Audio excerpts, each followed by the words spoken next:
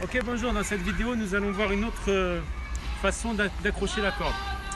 Euh, c'est-à-dire que si on n'a pas de barre de traction, on peut quand même pratiquer euh, le monté de corde et ces exercices sur d'autres supports comme les cages de foot, une poutre ou même une branche bien solide par contre. Donc vous voyez le sac de la corde donc, se compose de la pen climb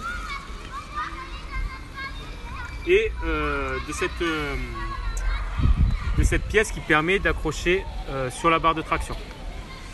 Maintenant, si le support est bien plus gros qu'une barre de traction, on peut utiliser ce genre de, sangles.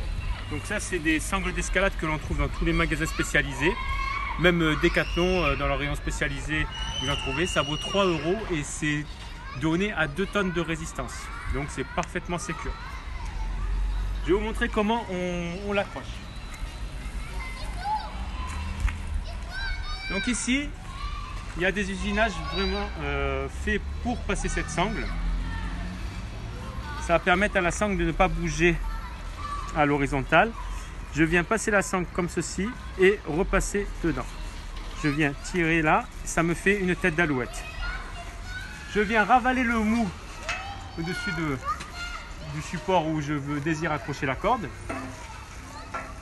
Et je reviens faire une tête d'alouette en repassant l'extrémité de ma corde à l'intérieur. Et je retrouve une autre tête d'alouette.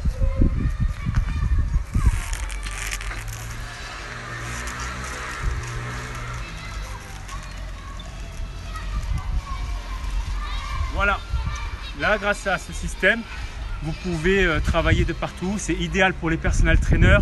Si vous n'avez pas de barre de traction, vous voulez entraîner en small group ou quoi, faire un petit atelier en plus, euh, euh, corde, vous pouvez mettre ça sur une cage de foot et faire vos autres exercices à, côté, kettle, enfin voilà.